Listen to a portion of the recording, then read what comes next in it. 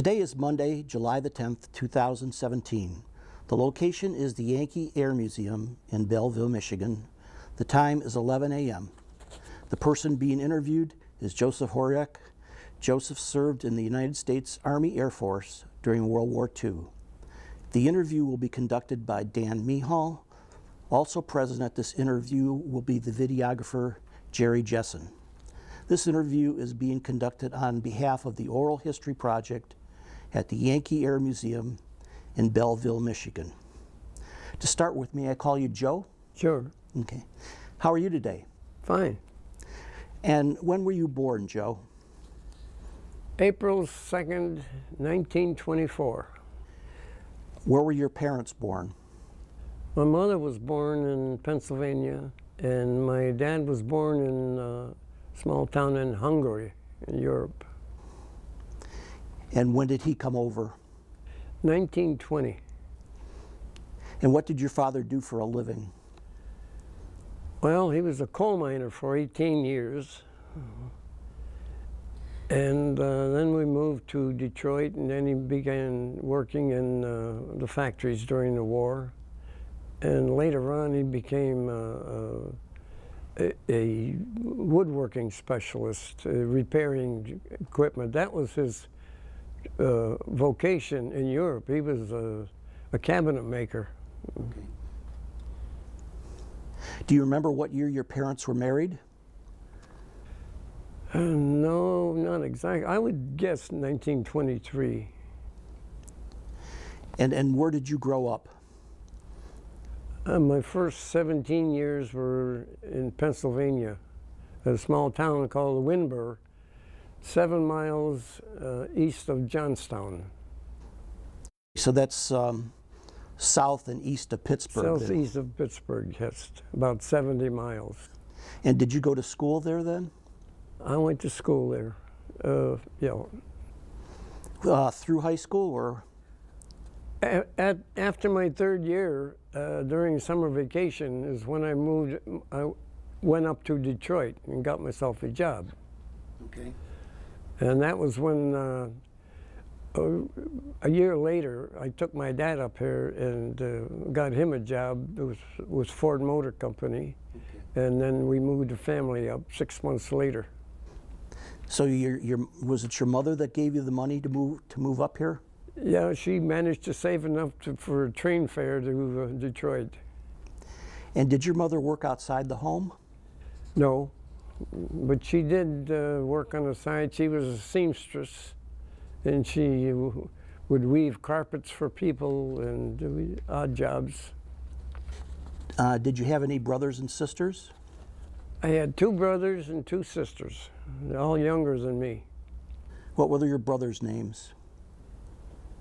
Uh, John, Bob, and my sisters' names were Anna and Olga. And where, where did you get your first job when you came to Detroit? Where did you work? First two weeks was in a lumber company, making crates to uh, ship Jeeps to Europe.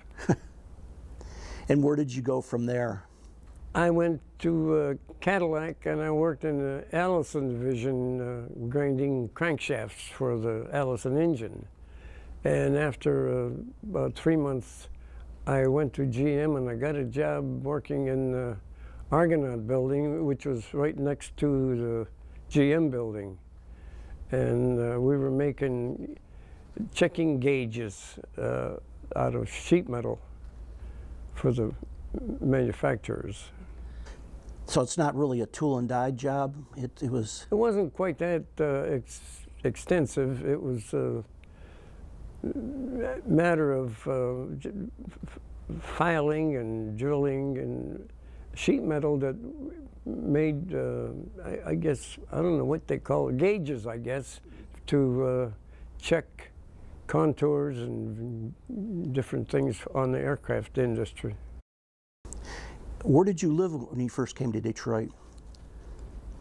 I lived, uh, I, it's hard to remember, but I think it was a YMCA, I think it was in Ham, uh, not Hamtramck, uh, Highland Park. So you, you came up to Detroit in 1942 then, round, roundabouts? Yes, Okay. That must have been just after Pearl Harbor? yes. Do you remember where, where you heard about Pearl Harbor, what you were doing? Uh, I was in school. It was my last year in school there. I, that I, it's the best I can remember of it. I can't.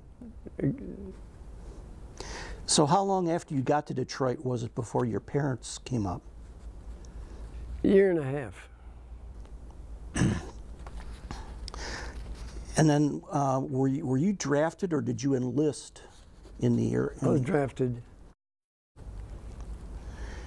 And um, GM wanted, wanted to defer you? Yeah, they wanted to keep me there. They tried to get a deferment for me, and uh, I, in fact, I had to quit the job to keep from doing it. I took a part-time. Well, it wasn't a part-time. It was a short-term job with Chrysler, just chasing stock, because I, I was I had already gotten my uh, notice. Okay. So And, and where did you report? Do you remember? uh, Battle Creek, Battle Creek, yeah. And, and where did you take basic training? Well, from there I went to uh, Fort Sheridan, Illinois, and we, we, they gave us our clothes and other equipment. Then we got on a train and we went to uh, St. Petersburg, Florida. So how did you end up in the Army Air Force then? Uh, I kept trying to get into cadets, and I, I would pass the examination, and uh, I was ready to go to school. And uh, first time was in uh, Tennessee. And uh, one morning they called everybody out and said, "Everybody from A to H, fall out here. From H to Z, fall out there." And uh, they said they're they're short of uh, gunners and other crewmen, crew members. So he says you're going to radio school, or gunnery school, or whatever. And the first one was radio school, and I said, "So that's not for me." So I managed to stay off that somehow, uh, kind of hiding. And then when uh, gunnery, uh, then mechanic school came up. Next time I was again supposed to go to uh, cadet training, and again the same thing happened. They needed more crew, crew people, so I ended up going to uh, mechanic school in uh, Gulfport, Mississippi. Was this still 1942 or was this 1943 by now? Oh, it had to be 43. So you, where did you go next? From there, I went to uh, gunnery school. Is that in It Texas? was in Harlingen, Texas. And then we graduated from there. I was sent to uh, Boise, no, Salt Lake City, and uh, they were assembling crews. And, and from there, they sent me to Boise, Idaho. And two months later, I got my crew four officers and uh, five other enlisted men. was that Gowen Field that you, Pardon? was that Gowen Field? Gowen. Gowen, Yeah, Gowen okay. Field. Uh-huh. So what did you do while you were waiting for the crew to assemble then? You, I was working on a flight line as a mechanic. so you had um, six enlisted uh, men and four officers then in your crew? Yes. And, and who was the commander of the field, of that Eh, field?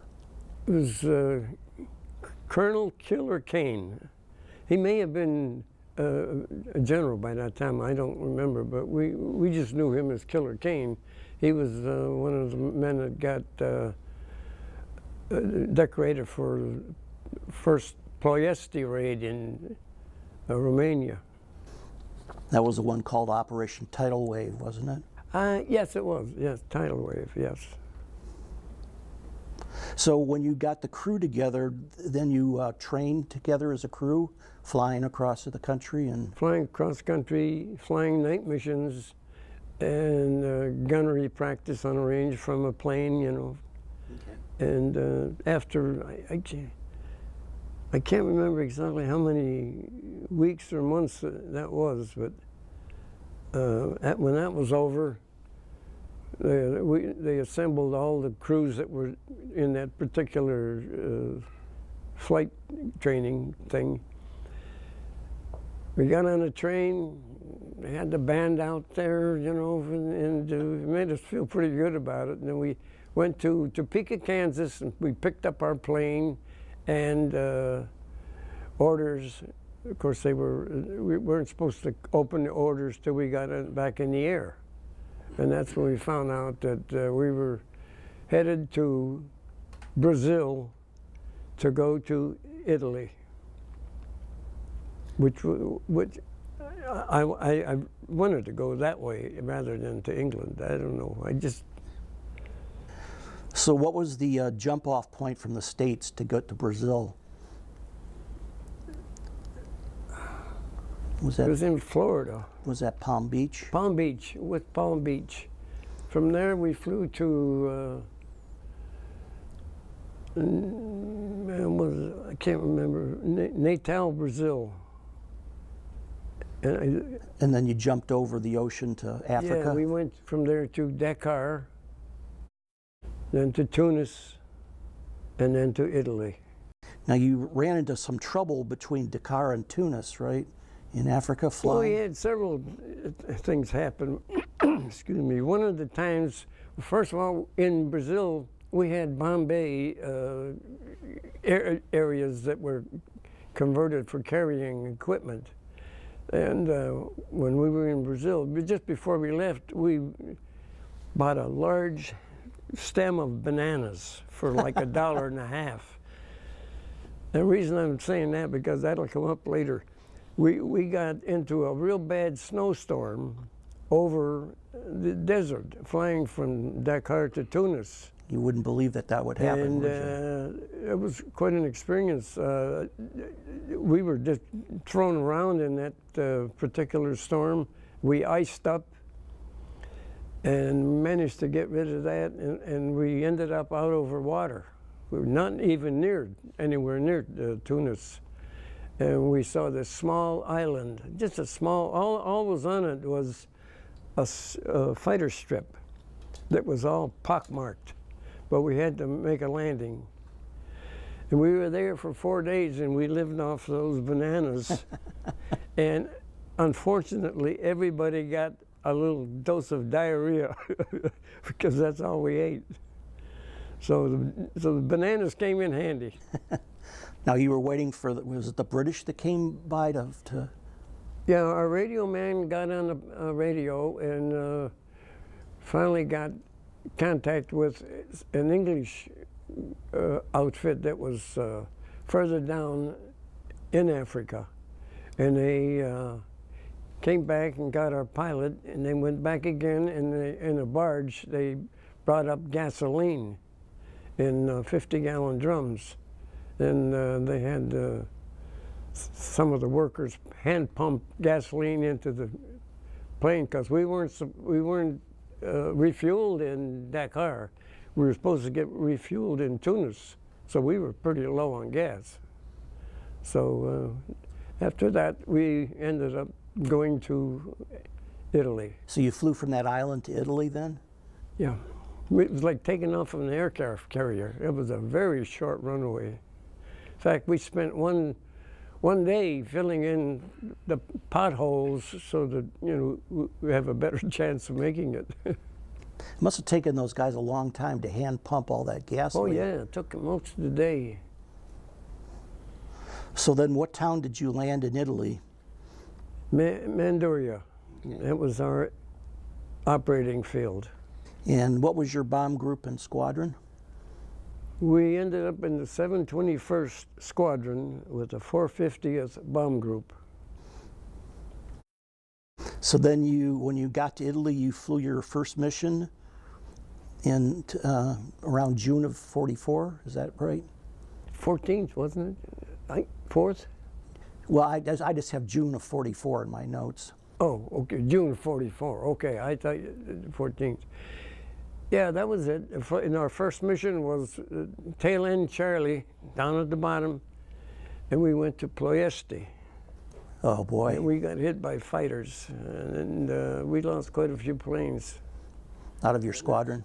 Yeah, and that's when my uh, navigator got killed uh, on that mission. on the first mission. Yes. And then when was your last mission? My last mission was uh, to Germany. Ah, God, I, I, I can't remember. It was just the other side of the Brenner Pass. It was on Christmas Day. And that was it. For these, uh, for a typical mission, what kind of alt, what altitude did you fly? From 22 to 26. And wh- which missions would you say were your toughest? You know, which targets were the toughest targets? Uh, Ploiesti, of course, was number one. Number two would be Vienna. Uh, Regensburg was another one. And Munich, of course. Why were these so tough? Was it the fighters or the? Oh, and the aircraft. They had tons of guns in all those places. So uh, it, af- actually, after about oh, six or eight missions, we no longer saw any fighters. We saw, we knew they were there, but uh, the Red Tails with the P-51s kept them busy. They kept them off of us. That's the uh, the Tuskegee Airmen. The Tuskegee Airmen, yes. But you didn't know that that at the time. Did No. You? Well, we did later on, but not if for a long time we didn't know who it was. We just knew that they were a new fighter group. And their base was kind of separated from yours. So. It was north of us. Now you said that you flew 51 missions and 36 sorties. Yeah, well, yeah. They had a way of difficult missions, long and like I said, the Austria, uh, Vienna, or Ploiesti, it was given double credit. You could fly, you could end up with 51, but no matter how it worked out, you had to have at least 36 sorties. So you couldn't, you couldn't fly, uh, you know, many doubles and, and end up with 24 mis- uh, missions, you know, sorties. It wasn't allowed. So the like to the, the missions to Munich would be a double mission. a double. Vienna would be a double. Ploiesti was a double. There may have been a few others that I don't. Been a long time. I can't remember a lot of things. You know. Um, what, did Ploesti get easier the, the, the farther into the war that you got, or Never got any easier. Never. They had guns even mounted on railroad Uh, uh, tracks that they would follow us out, you know, coming and going. oh, geez. Was- mm. Now you said your navigator was killed on a, the first mission. Did your crew suffer any more casualties? The co-pilot was wounded pretty seriously. He cut him open from one side to the other Wow. Was that flak? Flank. It was yeah. It, it just kind of rolled around inside of his flak vest to keep it from, and it rolled around and just opened him right up. Jeez. So they patched him up and, they sent him back to the states. Was that on the way out or the way back on that mission? Do you remember when he got hit? Over the mission, over the over the target. Yeah. Now, did your plane suffer uh, battle damage? Oh, yes. Quite a few times we never made it back. We had to land uh, some other airfield, uh, either for lack of fuel or a problem, uh, you know, with the engines or something, electrical problems.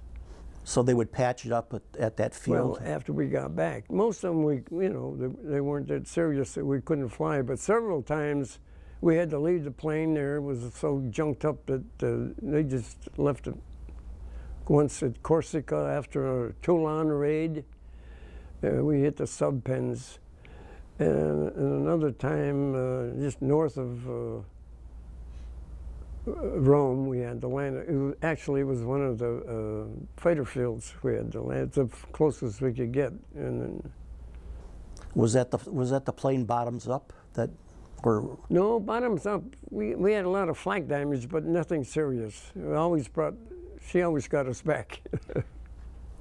now in your notes you talked about a couple of times you had to um, drop your bombs through the bomb the bomb doors with the, they wouldn't open. Can you talk about that? Several, yeah, twice, in fact. Uh, they would just freeze up or something. We couldn't break them open, so when we get over to the target, we just drop 'em right through the doors, and the doors would be swinging like eh, all the way back. Did that uh, cause problems for the plane to make it slow No, it down? just kept the guys in the back end cold. So was bottoms up a, a B-24H then or a J? I, I can't recall. It was one or the other. But Um, can you describe how you, because it did, it got cold even in Italy, right? And you had to heat your tents somehow? Oh, we had yeah, we had uh, rigged up a, a tank on top of the roof with the drip dripping into a 50 gallon drum with sand and bricks in there and light it and the drip would keep keep the heat the one end of the I was at one end of the barracks the other end of the barracks was cold It sounds like it'd be dangerous to, to do. Yeah we used uh, we used 100 octane gas for everything uh, even for cooling off our beer. We by throwing burying the beer can in the sand and then throwing the gas and it evaporated fast and we just move it to another place. Pretty soon it got it wasn't cold but it was cool. Now, as the flight engineer, did you have gunnery responsibilities too? oh yeah. I had the the top turret gun That must have been pretty scary to be up there. I mean, can you describe what it was like? Mean, well you mean in the turret yeah. well I, I, uh, it was just something you, you had to do and you never gave it a thought you know you just climbed up in there and uh, that was it scan the skies you know looking for planes Was there any um, did was there any anti-aircraft that got close to you? I mean, do you remember a shell going off nearby, or how's that again did, what, did you did you see a shell nearby? I mean, when you were up in the turret, that scared you? You know, when something um, uh, anti-aircraft went No, off. You know, I, like I, I think I told you earlier that uh, to me, seeing all this happening was like being in a movie. I, I just, it, it never came off as something that was reality, you know. And You see a plane uh, blow up or something, it just, you, you kind of took it for granted, you know. It, it wasn't you, so that was it. So where did you go after you'd finished your missions? After you had your points up, where did they send you? I ended up going to uh, Chanute Field, Illinois for B-29 training. Where did you? Where did they send you first in Italy, though? Italy? Yeah, when when you got done on your way Oh, home. Naples. Okay. In fact, I was the only member of the crew that got to fly home. I, I got there by truck to Naples, and they bedded us down in the, uh, like a hallway because there was no, no room for everybody in the rooms, you know. And in the middle of the night, somebody came by and says, Hey, you want to fly home? I says, Yeah. He says, Get your crap together and be down here in 10 minutes. And he says, We're going, load the trucks, we're going uh, uh, to, to the airfield to fly down to Africa. That was it. And then what kind of a plane did you fly back from Africa? C 54, I believe it was called, four engine, Yeah, it's a big plane. yeah, commercial type. So then you got home and you got a furlough, and then you went to B 29 school? Right. I was there for six weeks. And I don't know how that all came about, but I ended up from there. They sent me to Langley Field, Virginia, uh, as an engineer on a plane. Uh, we, were, we were doing uh, touch and go landings with uh, green pilots. Was that B-24s? Yeah, B 24s. That was uh, right around when the Japanese surren- surrendered. Do you remember anything about that or where you were? I'm trying, uh, March. When was, when was, I can't remember. when they- August, August of, August. Yeah, well, it's about that time. I was there for quite a while. I can't, I can't remember how long. you don't remember any parties or anything? From, No, no? no, we no. I wasn't involved in any of those big uh, celebrations. I was, yeah, I was on the base. So what happened next? Did you had enough points and you, Yeah, yeah. They called me in and said, "You get, you've got enough points." He says, "What do you want to do? You want to re-enlist or you want to go home?" I says, "I'm ready to go home." but they did try to talk you into staying in the Air Force. They tried, they tried to offer Oh you to yeah, they offered me. Yes, they said, you know, you want to know if I'm which which way I wanted to go, and I said, I'll go home. So when you left the military, what happened then? Well, yeah, I, I was out of a job, of course. uh, I applied at American Airlines to work as a mechanic because I had mechanic training. And the first thing they wanted to do was send me down to South America. And I said, God, I just got home. I don't want to do that. So I got into uh, an apprenticeship program. And it was an, unfortunately, it was an ununion shop, and the union uh, made it tough on them. And eventually, the company went out of business, and I was out without a job again. So I applied at a similar type of uh, place. It was a union, and they says, "Well, I already had my apprenticeship done." And they says, "No, you're going to have to start over. We can't give you credit for all of that schooling." I says, "No, thank you." So I ended up going to uh, temporarily Ford Motor Company. I was going to try to get into their hydraulic pro- program because uh, B-24s were hydraulic, and I, I had a little experience. And uh, I got wind of, uh, I was getting dollar nine an hour or something like that. And, and uh, one of the kids, he says, my dad works for a photo engraving company and he's making over $3 an hour. Well, that lit up a few little light bulbs. And I took pages out of a news uh, telephone book and I was working afternoons at Ford's, and every morning from nine o'clock to one, I would call on different places and try to get a job. And of course, they all said, "You have an experience?" I says, "No." And I did that for I think about two weeks. Finally, I said, "Ah, I couldn't get a job." And I went to the union office, and he's uh, the photo engraving. He says, "You don't want to get in photo engraving. That's going out." He says, "The new thing is offset printing, which is lithography." So I did the same thing with the phone books for lithographers. And after three weeks of calling all these on personally on a, you know streetcar, bus, you know, and then I'd have to come home get ready for work. The last day, I said, I said, well, I can't go again. I said, I'm going to make a phone call. So I called this place eh, and asked, you know, if they needed, if I could get in the, a job there. He says, well, he says, uh, we could we could do use somebody. It was a new company, just a small shop. He says, uh, can you come in tomorrow for an interview? I says, I'll be there. So I show up, and I, I'm surprised I got the job because uh, one of the questions was, what makes you think you can learn this? I looked him in the eye. I says, "You learned it." I says, "I know I can learn it."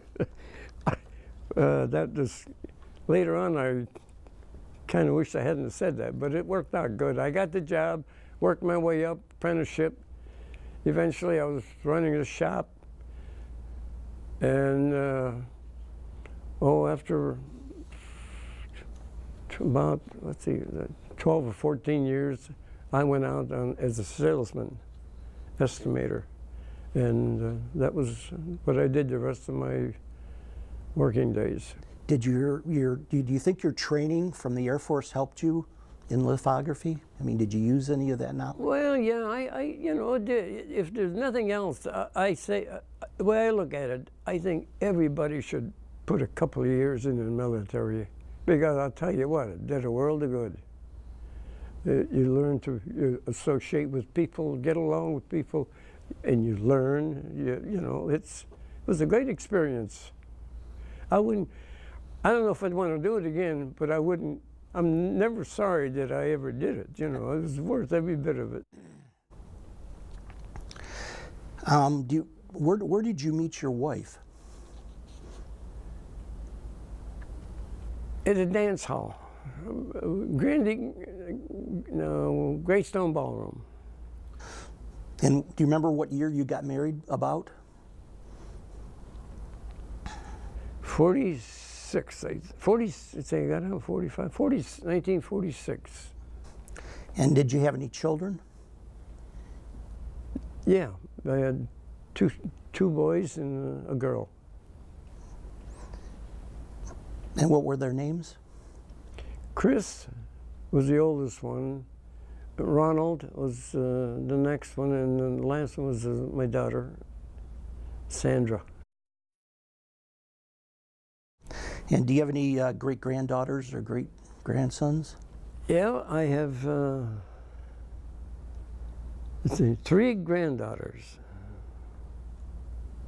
L Lindsay, Carly, and Alana and two of them are married, and one has a little boy and a girl. The other one has just had a, little girl about five months ago. Oh, wow.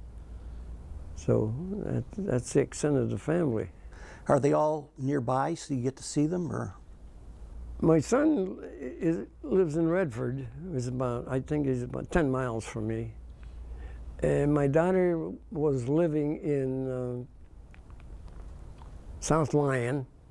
She just five weeks ago moved to Traverse City. In fact, I just spent a week up there um, about a week ago. Uh, I, first time I'd been up there with uh, new home. Is that and like the oldest, my oldest son, Chris, he was killed in a uh, car accident. Actually, he was a racer. He was racing a car and up in Canada at Mosport, and uh, he got killed in an accident there. That was in 1981. Well, is, is your daughter move up to Traverse City to retire, or is that? She, she, she's retired. Okay. Well, no, I shouldn't say that. She's partially retired. She was self-employed. Okay. And in fact, she uh, I got her started in the printing end of the business, and uh, she started her little own advertising agency, and she still does it. Oh. She does most of it on the computer now. You know, and when I was in it, we didn't have computers; we were just coming in. You know. Yeah. Now you said that you thought that um, everybody should serve in the military or, or some service. Anything else? Yeah that you'd like to say to people that are growing up today based on your experiences? And I, I just, I don't know. I think it just would do everybody a, a bit of good, you know, keep them off the streets. You know? Yeah. Well, I don't have any more questions for you, Joe. I want to thank you for your time today. I enjoyed talking to you. Oh, you're welcome. I relived my military life.